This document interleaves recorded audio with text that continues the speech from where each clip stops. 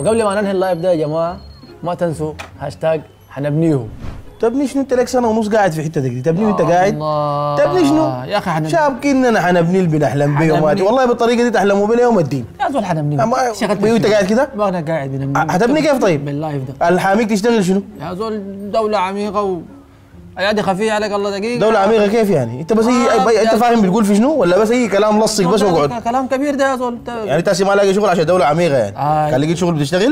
إن شاء الله ليلة. تعرف تعوم؟ بعوم يا زول. كويس؟ آه. أنا بشغلك دقائق بس. A few moments later. ثبت دي؟ شنو يا زول. قوم قدام يلا سريع. بس دي سريع يلا قوم. دي شغلت شنو أنت بس سريع قوم قدامي وش قدرت لا تشتغل إلا الله. حنبنيه حنبنيه قاعد ماسك لي فاتح لي لايفات. لا حول ولا قوة قوم قدامي. ما داري اعوم وجهي ده يعومه؟ ماشي ندرب. والله انت حتشوف بل. أمشي. أمشي قدامي. قال حنبني قال امشي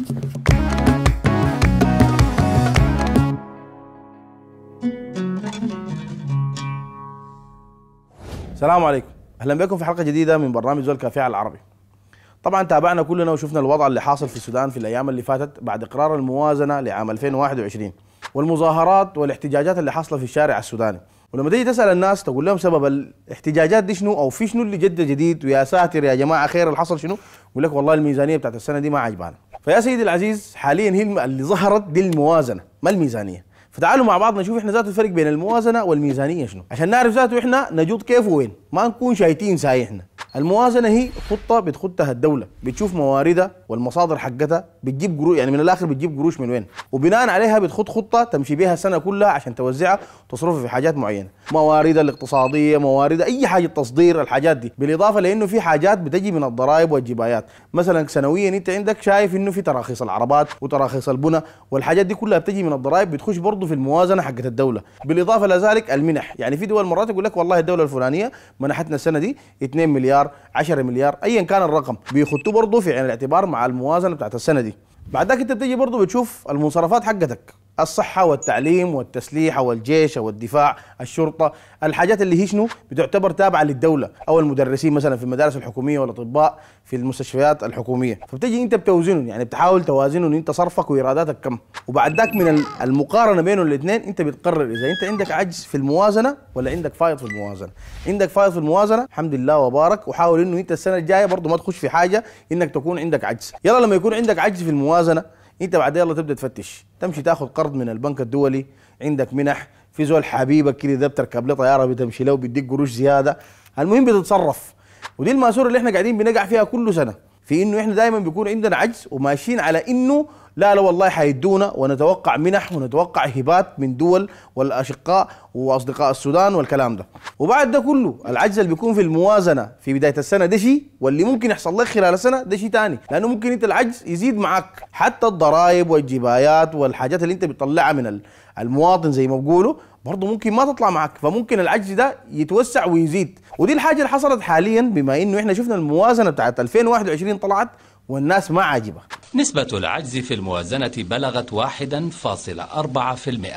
ويرى خبراء أنها لم تلب احتياجات الشارع. إيرادات موازنة 2021 انه 30% منها جاءت على حساب المواطن من جيب المواطن اللي هي رفع الدعم عن المحروقات ويمثل 300 مليون من إجمالي تقديرات 900 مليون. بمعنى انه 30% من الإيرادات أيضا أخذت من جيب المواطن وده اللي بيحصل لنا إحنا دائما وعشان كده الناس جايطة وكل يوم عندنا تضخم في أي حاجة. دي بالنسبة للموازنة. أما بالنسبة للميزانية فالميزانية هي دي اللي بتخطها الدولة آخر السنة.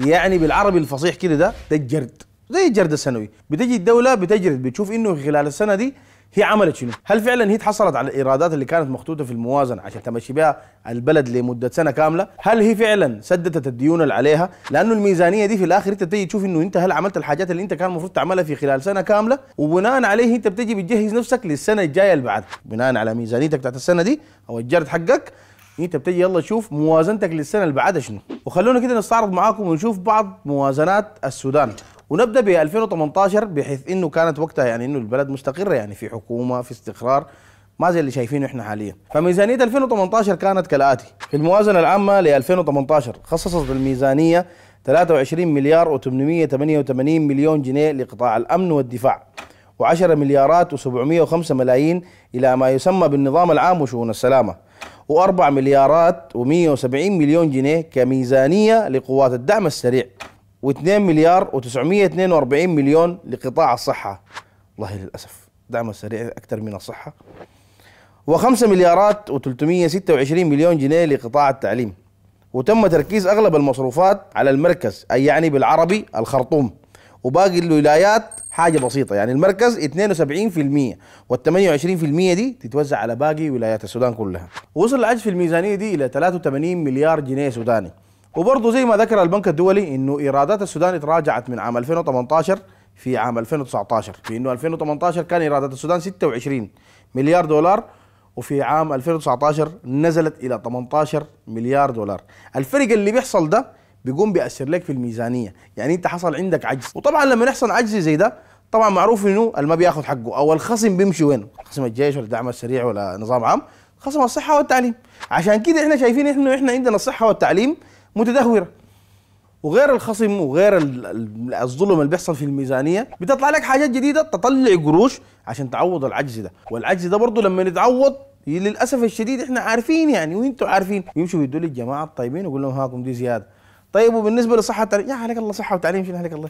ده اشكال يعلموها ولا يعالجوها خليهم ولا عليك الله. على صعيد الموازنة العامة لم يحظى القطاع الصحي بأولوية حازتها قطاعات أخرى مثل الأمن والدفاع. 30 سنة ال- ال- النظام الصحي اللي كان شغال إحنا نفتكر إنه كان فيه كثير من الأخطاء. وعلى هذا الحال كل سنة. نجي يلا إحنا بعدين نشوف الموازنة بتاعت 2020 كان اللي حاصل كالآتي. الإيرادات الفعلية لسنة 2020 كانت 264 مليار جنيه. والإنفاق أو المصروفات للسنة دي اللي هي كانت عبارة عن 447.9 مليار جنيه. بمعدل عجز يعادل 184.1 مليار جنيه. يعني شنو؟ الجنيه ده قبل الباقي كمان. طبعا الحكومة كانت متوقع إنه تجيهم إيرادات من الناتج المحلي بقيمة أو ما يعادل 27% من المدخول يعني. لكن للأسف الشديد اللي حصل إنه اللي جاتهم في النهاية 7% فقط. أنت متخيل كمية أو حجم العجز اللي حصل في الميزانية؟ ليه حصل كده يا حكومة؟ الحكومة قالت لأنه بسبب جائحة كورونا والفيضانات. طيب دي منطقية. السبب الثاني أو الحجة الثانية إنه بالرغم من شح النقد الأجنبي وعدم توفره إنه الحكومة كانت بتحاول تدعم وتوفر القمح والمحروقات. شايفين إنتوا أي توفر في الموضوع؟ ما شايفين توفر. ان الليلة انت لو تيجي تقول لي والله الموازنة نقصت أو الميزانية حصل فيها كده كده بسبب إنه أنا قدمت لك كده المفروض أنا أكون على الأقل شايف إنه في حاجة مقدمة. لكن هو ما في. إحنا وصلنا لمرحلة إنه مش إنه القمح والمحروقات إحنا بقى عندنا العيش في الع... يعني في العالم ما في حاجة زي عندنا. العيش بيتباع بالكيلو. لاقتك دي قبل كده؟ معكم الرئيس الدكتور ولدنا يلا زيد العيشة زيد العيشة ادي جرام واحد بس. ما عيش إنه قبل ما يخش النار لكن هو يخش الفرن وبيجي طالع. جاهز؟ يبيعوا لك بالكيلو. يعني ما ما عارف أنا والله إحنا وصلنا لشنو. الله يعين غايته بس. والحجة الثالثة قال لك عدم انسياب الدعم الخارجي والمنح. يعني أنا ما أعرف هو انساب كيف يعني. كانت تخطه في النيل بينساب بيجيك بيغرقك منح يعني هم غير إنه ال- ال- اللي كانوا معتمدين عليه في الموازنة من الضرائب والجبايات والناتج المحلي. حيجينا كده أداهم بومبا جا الدعم الخارجي برضه أداهم بومبا. الحاجة الوحيدة اللي مدتهم بومبا الدعم السريع غايته. شغالة تجيب لهم في نقاطات.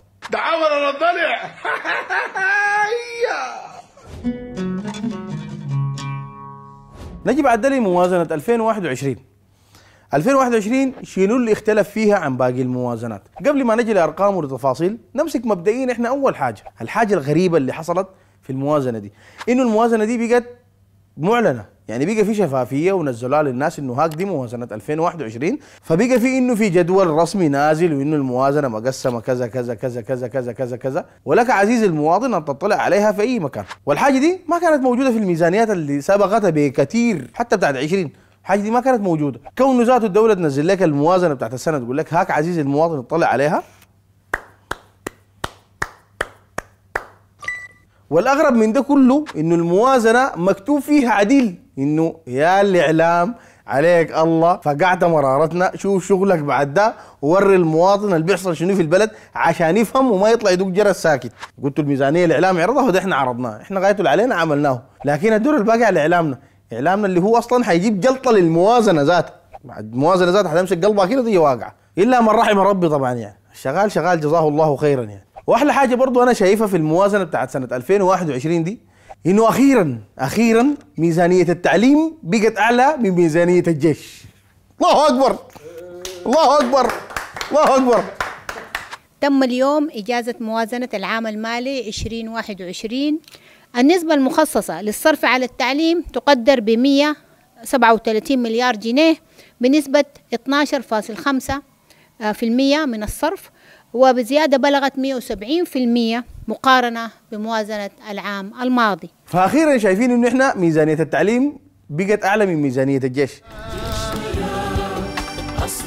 مع إنه يعني مش عارفين وصارفين وتعبانين على فيديو كليب يعني.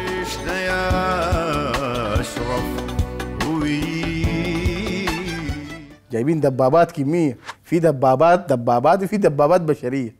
الموضوع ده بيجي قدام لأنه بس ما لحقنا وما ما حضرنا الأغنية كاملة لسه. وبرضه من الحاجات الظريفة واللي تفتح النفس إنه في زيادة ملحوظة في النسبة بتاعت ميزانية الصحة. يعني بدينا نهتم بالتعليم ونهتم بالصحة. والحاجة الجميلة إنه بقى في ميزانية مخصصة للدعم المباشر للأسر. يا إخوان أنتوا البلد دي ما لقي صوت شنو يا جماعة؟ دعم خارجي دعم مباشر دعم سريع. حول شنو البلد المدعومة كلها فوق تحت دي فبقى في دعم نقدي مباشر للأسر أو للمواطنين بقيمة 260 مليار جنيه سوداني أي ما يعادل 24% من الموازنة. والدعم اللي تخصص للكهرباء بيعادل 101 مليار. لكن دقيقة إحنا ما برضه شنو؟ إحنا بن- بنظهر أي حاجة ودور الإعلام. لكن هنا الموضوع ده فيه دردقة. لاحظ عزيزي المشاهد. عشان ما تفوت عليك دي وتيجي عند تقول إحنا ما وريناك. قبل ما يخطوا الموازنة بتاعت السنة دي زادوا سعر الكهرباء 500% بعد ذاك جا قال لك يلا إحنا حندعم لك الكهرباء. يعني كأنه يا أبو زيد ما غزيت ها؟ بس عشان تكون عارف النقطة دي. قبل إجادة الموازنة رفعوا سعر الكهرباء خمسة أضعاف. المسألة دي بتأثر على جميع المواطنين لأنه الارتفاع التم في الكهرباء حيأثر على جميع ضروب الإنتاج. الإنتاج الصناعي ده بيحتاج للكهرباء. وأي زول الشيء اللي أنت وضحته له في الكهرباء حيضعف السلعة تحت المواطن. فشنو؟ حركات القرطصه دي ما تعملوا على ما علينا. إحنا مركزين معاكم نحن الكلمة بالكلمة. وقبل ما ننهي الكلام عن ميزانية 21 ركزوا معي بس في الرسم البياني اللي قدامكم ده. يعني إحنا كان عندنا 60% من الإيرادات جاية بس من الضرائب و34% إيرادات أخرى و6% بس المنح. على عكس طبعا أو حاليا يعني اللي إحنا شايفينه في الجدول قدامكم الإيرادات حقتنا بقت كالآتي. الضرائب انخفضت ووصلت ل 27% والمنح زادت بقت 22% وعلى فكرة دي ما حاجة كويسة ولا حاجة ظريفة. وبالعكس أنا شايف إنه دي خطورة علينا إنه إحنا نعتمد على منح بالطريقة دي. وآخر حاجة عندنا المشاريع واللي هي تعتبر ب 51% إحنا المفروض نركز مع الحاجات دي أكثر مما إنه إحنا نركز مع منح. المفروض نسبة المنح دي تنخفض لغاية ما تصل في يوم من الأيام لتنعدم كله كله تكون ما موجودة. حتى لو تزيد نسبة الضرائب طالما المواطن لاقي حاجة مقابل الضريبه اللي هو بيدفعها ما مشكلة. وزي ما يقولوا بالعامية كده وبالفهم المبسط زيتنا في بيتنا. خلونا شنو؟ مع نفسنا. ما دارين حاجة من برا. والله العظيم بلدنا دي ما فقيرة ولا المواطن السوداني فقير. لكن سوء الإدارة هي المودي البلد دي في 60 داهية. السودان بلد غني وشعبه غني. لكن بس غايته أنا ما أعرف متين إحنا هنخط الخلافات اللي بيننا دي على جنب. وغير الحاجات دي كلها برضه شايفين إنه إحنا الدولة ماشية على إنها تسيطر على التضخم ده بإنها دايرة تعوم الجنيه. كذاب. حلف 60 يمين ما يعوم شفت بطن. ظهر. حلف. ما. أمسك. هي العوامة دي شفتها دي؟ ابى يعوم. أمسك انت. يعني خدته في عوام برضه غيري؟ أمسك. أها. عوم إنت. أنا ما راجع مسطبتي ماشي وين يا زول؟ مسطبتي والتعويم ده واحد من الحاجات اللي بتحاول الدولة تسيطر به على التضخم. وغيره في حاجات كتير المفروض الدولة تقوم بها برضه عشان تسيطر على التضخم وتسيطر على صرف العملات في السودان. واحدة من الحاجات المفروض ذات الدولة تقوم بها إنه هي تسيطر على الصرف بتاع الدولار والتحكم في السوق الأسود. يعني إحنا الليلة المفروض إحنا عندنا البنوك في السودان تستقبل تحويلات المغتربين وتديهم بسعر السوق الأسود. عشان ما يبقى في فرق أصلا بين سعر الصرف في السوق الأسود أو في البنك. يعني عندنا إحنا المغترب ده لما يجيب دولار يفكه في السوق الأسود أنت كده بنوكك بقت فاضية ما فيها أي عملة صعبة. لكن لما المواطن يلقى نفس الصرف ده في البنك في حتة مضمونة يخش بنك معروف إنه ده بنك يخط الدولار يدوا نفس سعر السوق الأسود كده تاني وصل حيمشي السوق الأسود. الدولار يعني هو باعتباره بقى سلعة هسه حاليا في السوق. يعني يباع ويشترى. بعد ده إحنا ذاته المفروض عندنا إحنا يكون في مراقبة للصرف وأسعار الصرف وإنه السوق الموازي ده المفروض ذاته الحكومة بأي طريقة تحاول تسيطر عليه وتلغيه اللي هو السوق الأسود يعني. إحنا بنحاول نجمله ونقول الموازي. ولما أنا الليلة كمواطن أخذ دولار في البنك أجي بكرة ألقى وأقول لك والله أنا داير لي مثلا كذا دولار بتديني دولاري والحاجة دي لما تحصل بيبقى عندك أنت احتياطي بتاع عملة صعبة أو عملات أجنبية في البنك. أنت عندك شيء تقايض به أو تعادل به عملتك. فكده أنت بتقدر تعمل شنو؟ سيطر على العملة وتقدر تعمل سيطر على التضخم. وبرضه الحكومة المفروض تصدر قوانين صارمة تكون على تجار العملة ومهربين الذهب.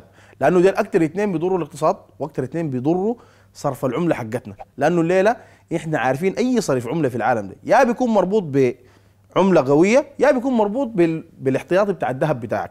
وأنتم طبعا ما شاء الله عارفين إحنا احتياطي الذهب حقنا قاعد وين. والمفروض برضه يكون في تسهيلات للمستثمرين. تسهيلات بإنه يكون شنو؟ ما تسهيلات إنه والله بس الليلة أسهل لك ورق ولا أسهل لك إجراءات. تسهيلات بإنه أنا أسهل لي العيشه ذاته في البلد دي. أسهل له دخوله وطلوعه من البلد. أسهل له إنه ذاته هو لما يجي يقعد هنا عشان يعمل اجتماع يشوف لي أي حتة دار يستثمر فيها أي مكان أراضي زراعية ايا كان نوع الاستثمار يكون قاعد وحاسس بالامان الأمان ده المفروض تكون عامل كنترول لأي حاجة. لأنه زي ما قلنا إحنا في الحلقات السابقة إذا ما في أمان في البلد ما في زول حيجي يكب قروشه في بلد ما فيها أمان.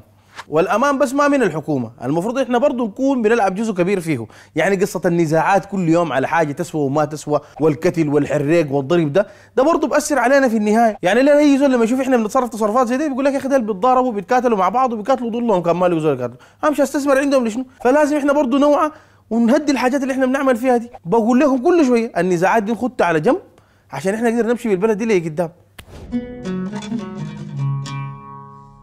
نجي لدورنا إحنا ذاته كأفراد ومواطنين. يعني أنت الليلة كفرد في المجتمع المفروض تحافظ على المرافق العامة بتاعت الدولة. عشان ما تجي الدولة في يوم من الأيام أنت بعد ما تكسر وتخرب تيجي تقول لك تاخد لك في الموازنة إنه صيانة المرافق العامة. دي خرطوم بحري دي المحطة الوسطى. ده الوسخ اللي إحنا قاعدين فيه وأنت مسؤول قاعد في مكتبك. حافظ عليها وخليها نظيفة ونظافة. بلدك قدر المستطاع عشان القروش اللي بتتصرف على إنه صيانة للمرافق العامة ولا نظافة تقللها. لأنه النظافة دي لابد منها. لكن ما توسخ انت بحاجة إنه تضر البلد والحكومة إنها تصرف ملايين ومليارات عشان تنظف وتصين. وعشان ذاته لما زول يجي من برا يشوف انت انت مهتم ببلدك هو ذاته حيهتم ببلدك لما يجي لما يفتح له مصنع لما يفتح له أي حاجة ما حيوسخ ولا حيكسر ولا حيبهدل. وبرضه انت كمواطن حاول إنك يبتكر. يعني الليلة ممكن انت بفكره بسيطة ما أقول لك إنه توفر على الحكومة ولا لا لا. لكن انت بفكره بسيطة تسهل على أهلك منطقتك قبيلتك الولاية اللي انت فيها. زي ما شايفين إحنا حاليا خريجين دفعة هندسة في جامعة السودان. عملوا مشروع انه قال لك إحنا القروش اللي حنصرفها في حفلة التخرج حقتنا.